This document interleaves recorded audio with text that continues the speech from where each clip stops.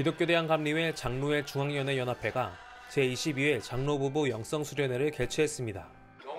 개회에서 중앙위원회 한정호 감독은 성도는 긍정의 말을 통해 미덕을 보여야 한다며 복음의 능력을 나타내는 장로회가 되길 바란다고 전했습니다. 이어 미자립교회와 북한 선교를 위한 후원금을 전달하고 주제 강연, 영성 훈련을 통해 영적 무장하는 시간을 가졌습니다.